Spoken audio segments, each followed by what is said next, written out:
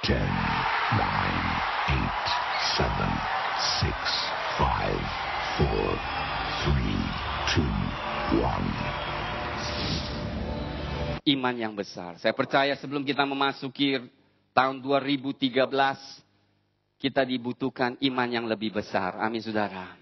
Namun di dalam firman Tuhan, di dalam pelayanan Tuhan Yesus selama tiga setengah tahun saudara. Hanya dua kali saja Tuhan bicara kepada dua orang saja yang memiliki iman yang besar. Berarti ini luar biasa, amin saudara. Nah setelah saya pelajari firman Tuhan, saya kata kenapa dua orang ini yang Tuhan katakan imannya besar, sedangkan muridnya sendiri saja, Petrus dikatakan imanmu kecil.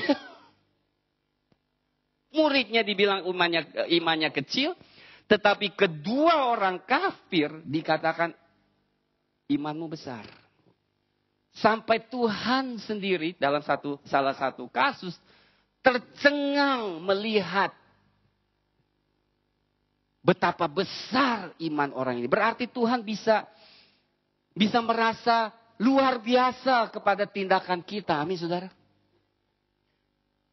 Kelakuan atau tindakan seseorang kadang-kadang bisa membuat Tuhan tuh merasa heran. Kenapa orang ini mempunyai iman begitu besar? Tentunya dikatakan firman Tuhan, tanpa iman tidak mungkin kita menyenangkan hati Tuhan.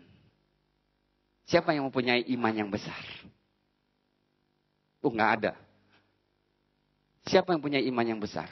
Angkat tangan. Ya, cuma satu. nah, kita lihat di dari Matius, saudara pasal 15. Ya, kita melihat ini salah satu kasus dikatakan iman yang besar. Matius 15 ayat 21 sampai ayat 28. Kalau bisa kita baca bersama saudara, supaya nggak ngantuk. Memang cuaca ini dingin, enak sekali.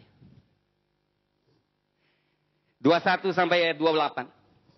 Lalu Yesus pergi dari situ dan menyingkir ke daerah Tirus dan Sidon. Ayat 22, 1, 2, 3. Maka datanglah seorang perempuan Kanaan dari daerah itu dan berseru. Seru.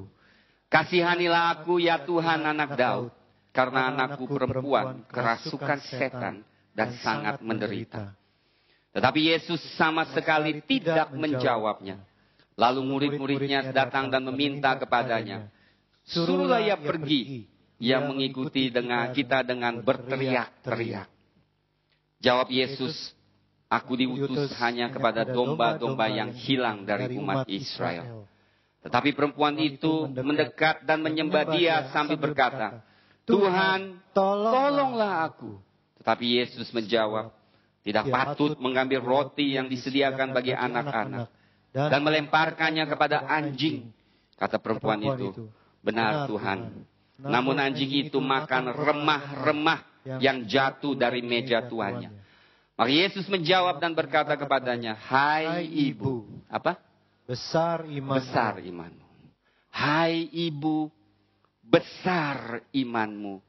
Maka jadilah kepadamu seperti yang kau kehendaki. Nah, seketika itu juga anaknya sembuh. Suatu cerita yang sulit untuk kita mengenal atau mengerti cara Tuhan Yesus menghadapi orang kanan ini. Seringkali kita melihat kebaikan Tuhan yang ramah, yang selalu panjang sabar, penuh dengan belas kasihan. Tapi di dalam cerita ini kita melihat ada sikap yang agak berbeda terhadap orang kanaan ini. Kita melihat pertama, wanita ini, anak perempuannya kerasukan setan. Mungkin dia sudah mencari banyak orang pintar, mencari pertolongan di mana-mana, tetapi dia tidak mendapatkannya. Pada satu hari dia mendengar tentang Tuhan Yesus. Yang siapa saja datang kepada Tuhan, baik itu sakit, penyakit, baik itu dirasuk setan, Semuanya dibebaskan. Amin saudara. Di dalam Tuhan tiada mustahil. Amin saudara. Sewaktu kita datang di altarnya, muzizat pasti terjadi. Dia datang penuh dengan harapan. Datang kepada Tuhan Yesus. Sama seperti kita mungkin ada yang masalah. Datang ke gereja penuh dengan harapan. Aku pasti dapat jawaban.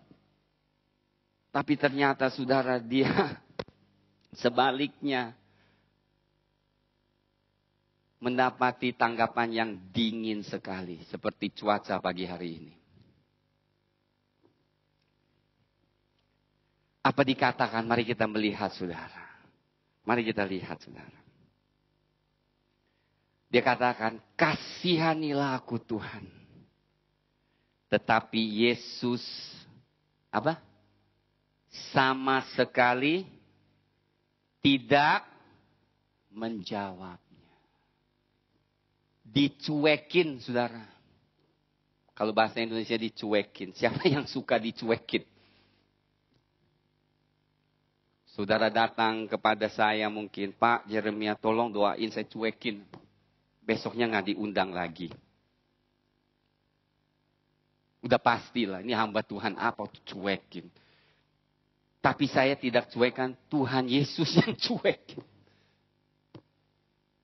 Saudara sangat heran kadang-kadang melihat cara Tuhan. Kita selalu pikir Tuhan selalu tanggapi dengan buka tangan dan ramah. Amin saudara.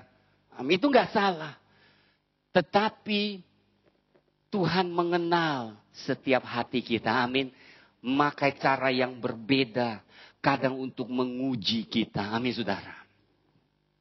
Saudara doa pada pagi hari ini atau selama ini Tuhan masih cuekin. Tuhan masih belum jawab. Amin saudara. Bukan berarti Tuhan tidak mau jawab. Tapi Tuhan mau lihat sejauh mana saudara percaya kepada dia. Amin. Sejauh mana saudara pegang kepada dia. Saudara, setiap tindakan iman. Saya mau saudara dengar baik-baik. Setiap tindakan iman, dia pasti ada tantangan. Setiap tindakan iman, pasti ada orang yang tidak setuju. Setiap tindakan iman, pasti ada orang yang tidak percaya dan mentertawakan. Amin saudara. Oleh sebab itu kita jangan putus asa. Amin saudara. Lihat wanita ini. Makanya saudara berbeda dengan kadang apa yang kita terima. Bahwa iman yang besar ternyata bukan saja hanya mengakui pengakuan, tetapi kadang-kadang sikap kita yang tidak mau mengalah. Lalu murid-muridnya, Tuhan Yesus cuek, murid-muridnya juga ikut-ikutan. Ini murid-muridnya adalah rasul-rasul, saudara. Pemimpin-pemimpin gereja. Lalu apa dikatakan? Apa dikatakan? Suruhlah ia pergi mengik, suruhlah ia pergi. Ia mengikuti kita dengan berteriak-teriak. Murid-muridnya yang seharus penuh belas kasihan, tetapi malahan suruh pulang aja deh. Teriak-teriak.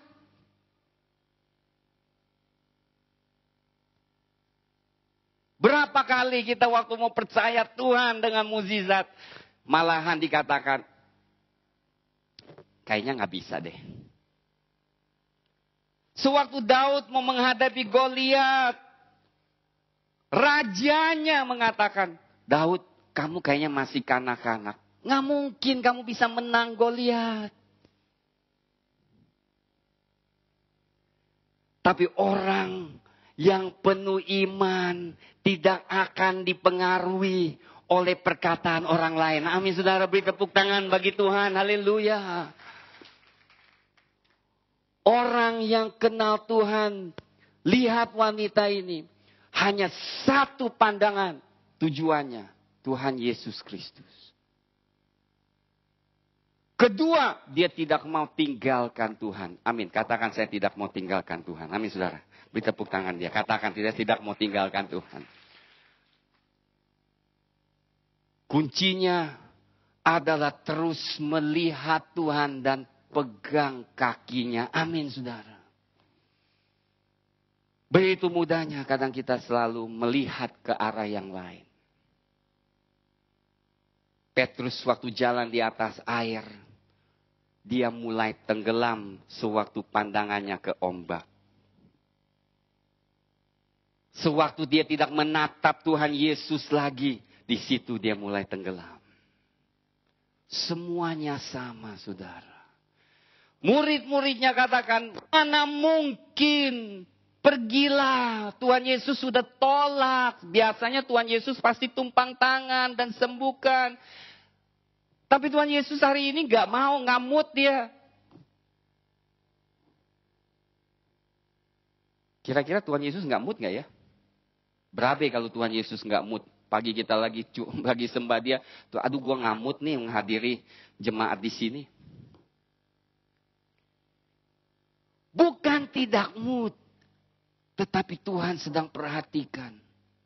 Di dalam hatinya Tuhan lihat wanita ini. Sejauh mana engkau mau ikut saya? Saudara kemudian apa dikatakan saudara?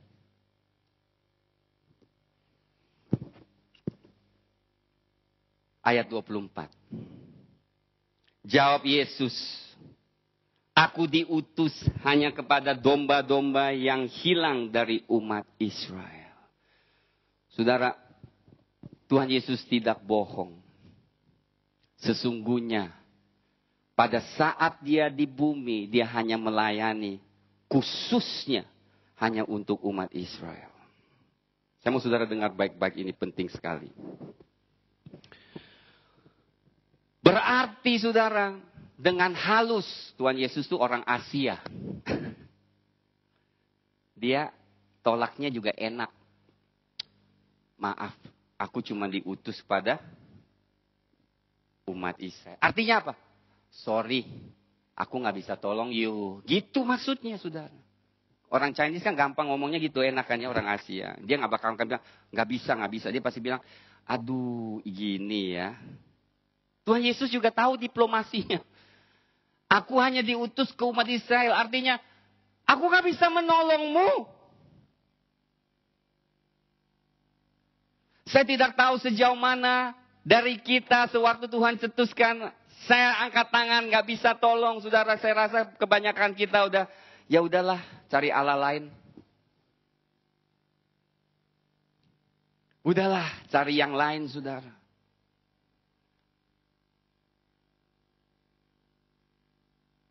Tapi lihat sikap wanita ini. Amin, saudara. Lihat sikap wanita ini.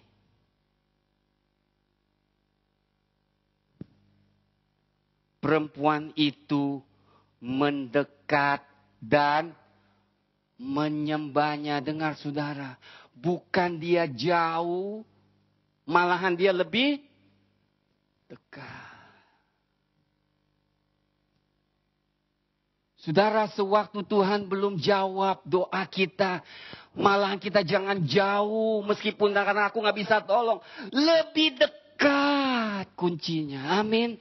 Lebih dekat mencari wajahnya, lebih dekat menyembah dia, lebih dalam menyembah dia. Amin saudara. Beri tepuk tangan bagi Tuhan. Haleluya.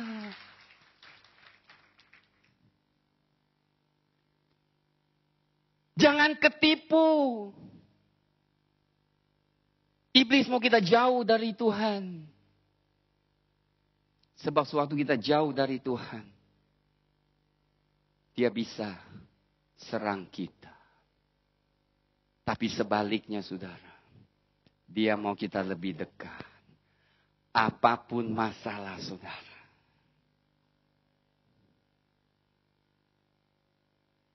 Jangan jauh dari Tuhan. Saya ingat saudara sewaktu kami datang dari Malaysia, dari dari Cina, ayah saya sakit dan kemudian kena stroke dan sekeluarga kami pindah ke, ke Cina selama satu tahun melayani dia sampai dia terima Tuhan Yesus sebagai Tuhan dan Juru Selamat.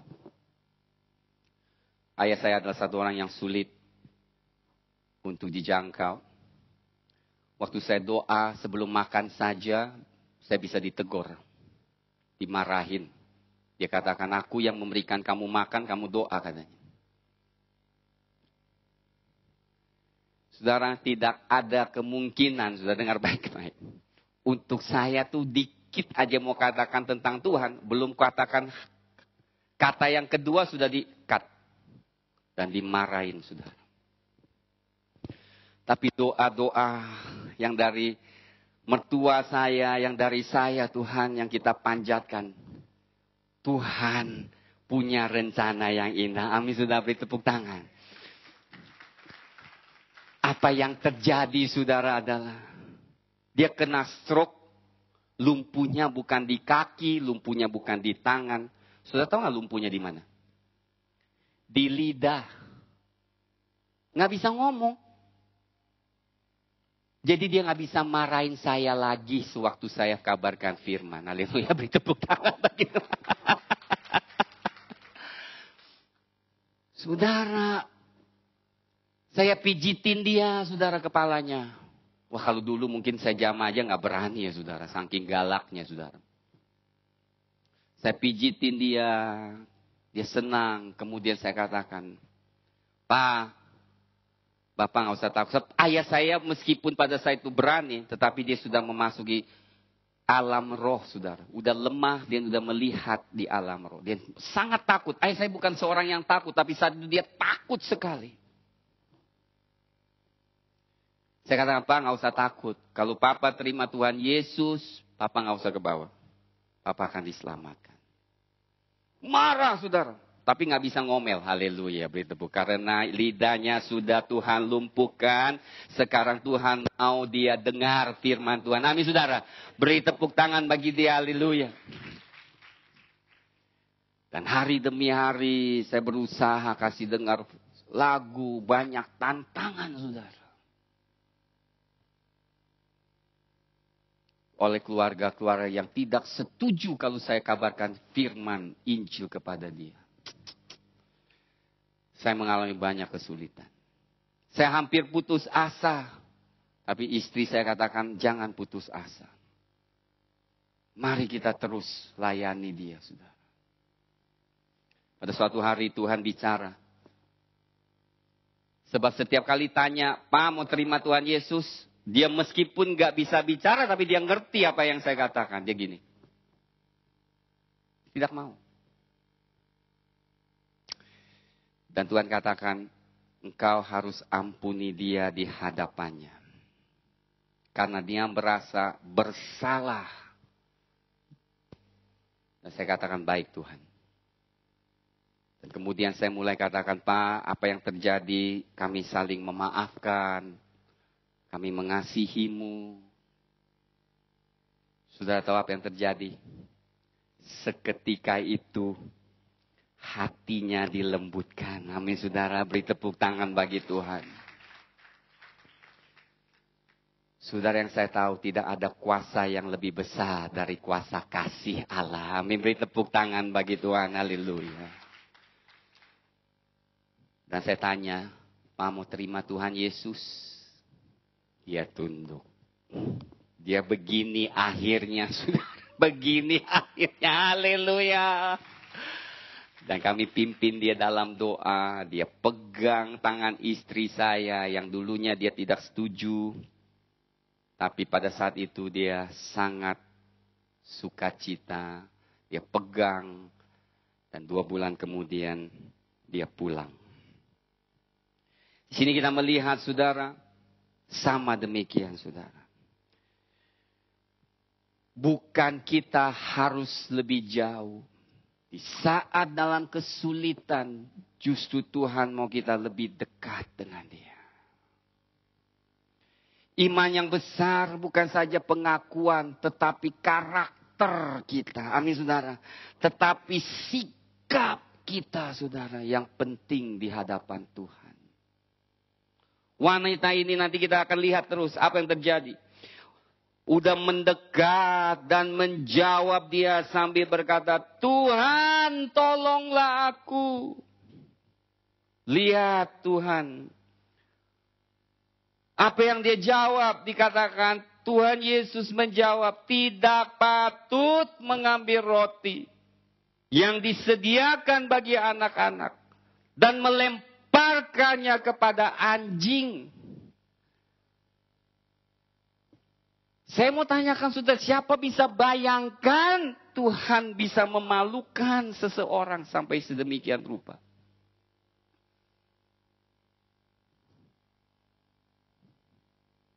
Gimana ya kalau saya katakan anjing? Saudara dikatakan anjing gimana? Langsunglah lempar batu tuh. Gua dipanggil anjing. Gua anak Tuhan. Kaulah raja, raja, kula raja. Ya kita raja, anak-anak raja. Anjing yang benar aja. ya kan saudara.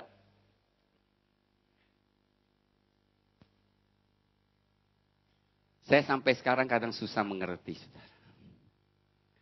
Suk, su, sukar mengerti kadang cara Tuhan menghadapi seseorang dengan cukup kasar kalau saya berkatakan. Anjing. Namun wanita ini saudara. Siapa punya siapa sekarang yang mau iman besar? Wah masih mau ya saudara ya, dikatain anjing juga oke ya. Tapi sesungguhnya saudara, setiap proses Tuhan, mungkin kita tidak dikatakan anjing saudara. Tapi kita pasti pernah diremehkan. Kalau saudara pernah diremehkan dengan siapa pun juga Ketahuilah, Tuhan izinkan itu terjadi karena melihat ada potensi iman yang besar di dalam diri saudara. Beri tepuk tangan bagi Tuhan. Haleluya. Saya merasa hadirat Tuhan luar biasa. Kebetulan bawa pakai gel. Kalau nggak pakai gel, rambut saya pada berdiri, saudara. Kalau Pak Antoni punya udah nggak ada lagi mungkin mengkilap-kilap aja. Diremehkan. Iman yang besar.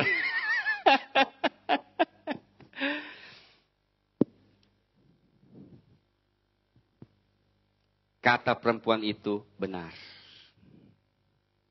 Saya heran.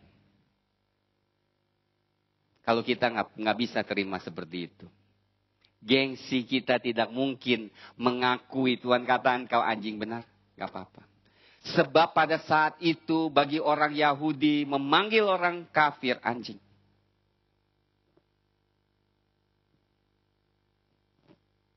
Sangat memalukan.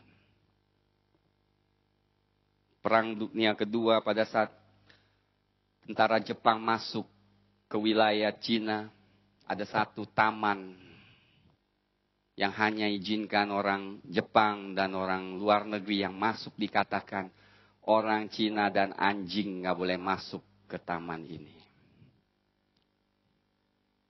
Meremehkan.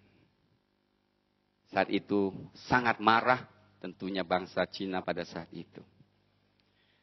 Tapi saudara, wanita ini menelan keangkuhan. Karena apa?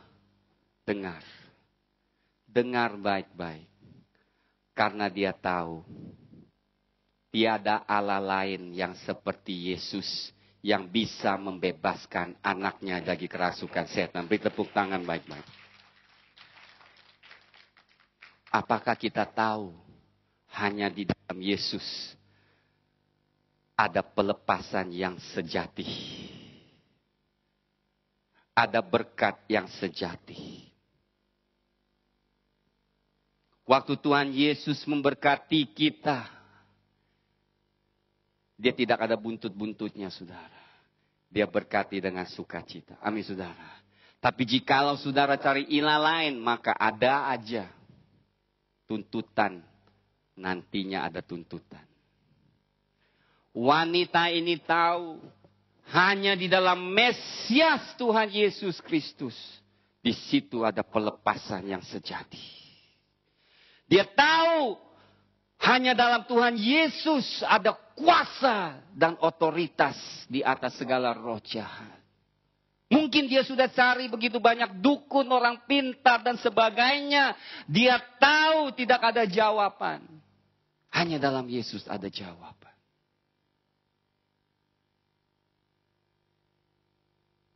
Kemudian dengan Kata itu dikatakan, benar Tuhan, namun anjing itu makan remah-remah yang jatuh dari meja tuannya. Apa maksud wanita itu? Tuhan kau nggak usah beri roti yang di meja. Saya nggak minta itu. Cukup yang remah-remahnya sudah cukup untuk saya dan saya sudah puas dengan itu. Haleluya, beri tepuk tangan bagi Tuhan.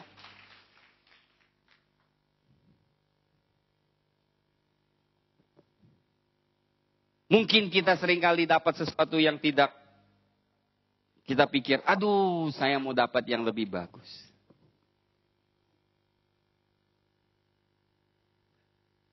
Tapi Tuhan tapi wanita ini mempunyai pewahyuan luar biasa. Cukup Tuhan. Anugerahmu sedekecil itu pun sudah cukup membalas.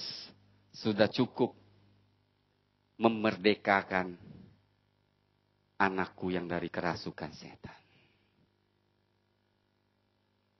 Kemudian Tuhan terharu. Amin saudara. Besar imanmu.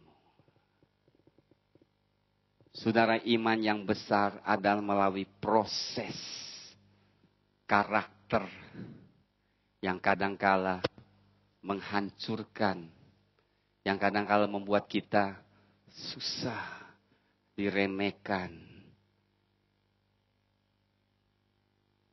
Saya kasih tahu suatu pewahyuan, saudara. Kenapa iman wanita ini besar? Tadi Tuhan yang saya katakan saya mau tekankan satu hal. Waktu Tuhan katakan,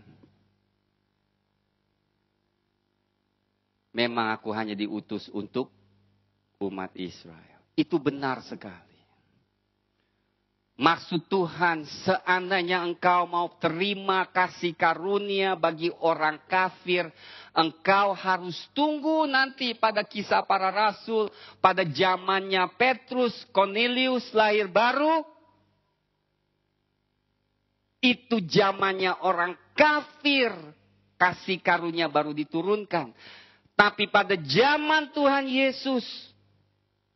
Belum waktunya engkau terima kasih karunia dari aku. Betul, kalau saudara yang ngerti firman, saudara tahu. Kapan zamannya orang kafir? Pada saat Cornelius terima, apa Petrus terima penglihatan binatang-binatang yang najis Tuhan katakan potong dan makanlah. Artinya adalah kasih karuniaku sekarang aku curahkan kepada orang kafir yang belum dalam bukan bukan orang Yahudi. Ini orang Kanaan. Minta belum waktunya untuk dia terima kasih karunia Tuhan. Kalau dia harus Tunggu, dia berhenti. Kalau dia berhenti di saat Tuhan katakan, aku hanya diutus untuk domba yang hilang dari Israel, dia, dia harus tunggu lagi. Mungkin lima tahun lagi. Siapa yang mau anaknya dirasukan setan lima tahun lagi? Dengar. Waktu wanita ini minta sesuatu yang kasih karunianya adalah di masa depan. Dengar baik-baik. Cuman Allah yang dahsyat. Amin. Dia melampaui waktu. Amin saudara. is a transcendent God. God yang melampaui waktu dan masa. Dia bisa ambil kasih karunia yang yang akan datang. Dia akan datang, dia ambil. Sedikit aja remah-remahnya. Dia bawa ke zaman saudara. Ke zaman wanita ini. Dicurahkan. Iman yang besar. Bisa mempercepat janji Tuhan digenapi dalam hidup saudara. Beri tepuk tangan bagi Tuhan. Saudara tahun 2013 kita membutuh iman yang besar. Tapi iman yang besar adalah karakter yang dibentuk oleh Kristus. Amin saudara. Setiap kita mempunyai potensi. Makanya semua kita ada masalah. Siapa yang ada masalah, bahaya. Saudara yang punya masalah, bersyukur. Amin saudara. Karena Tuhan setiap kali mau melalui masalah dan pergumulan untuk mengenal dia lebih dalam. Beri tepuk tangan saudara. Saya heran saudara di himne, lagu-lagu yang diciptakan oleh hamba Tuhan. Yang bisa bertahan abad dan beratusan puluhan tahun. Misalnya, What a friend we have in Jesus. Ada lagu apa lagi? Uh, It is well with my soul. Lagu Shout to the Lord. Lagu As the deer panteth for the water. Seperti rusa yang rindu oleh mati nisrom. Sudah kalau kita pelajari latar belakangnya, kenapa lagu-lagu ini muncul? Sudah dengar baik-baik. Kenapa lagu-lagu ini muncul? Lagu-lagu ini muncul karena waktu penciptanya itu mengalami masalah yang paling besar krisis yang paling besar di dalam hidupnya. Dia keluar lagu-lagu yang terindah.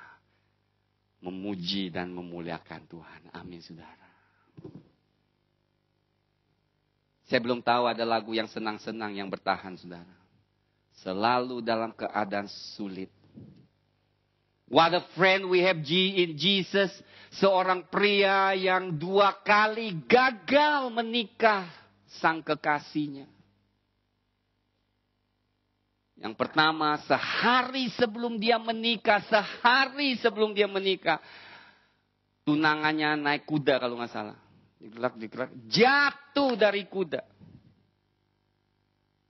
Meninggal dunia. Dengan hati yang hancur. Sudah siapa yang pacaran di sini? Gak ada, gak berani ngaku.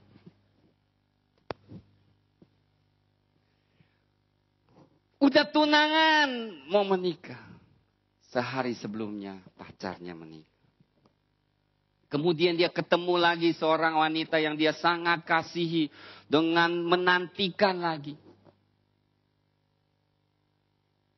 Hal yang mirip terjadi sebelum menikah, keduanya meninggal lagi, saudara.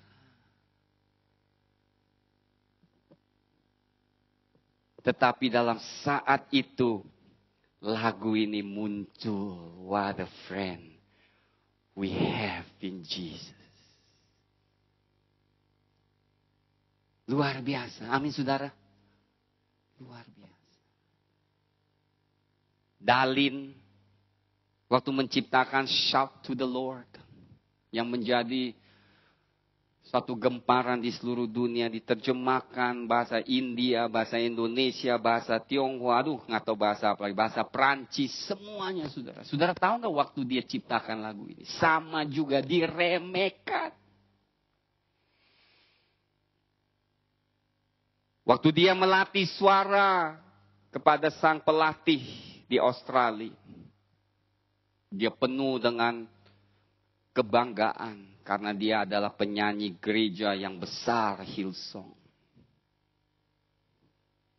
Sewaktu dites suaranya, dia rasa dia sangat bagus. Tapi pelatihnya katakan, engkau pasti dari gereja. Kau tahu dari gereja? Dia bilang, karena gereja selalu mengatakan baik. Untuk encourage. Jelek juga dibilang baik. Kau pasti dari gereja katanya. Kaget dia. Dia nangis saudara.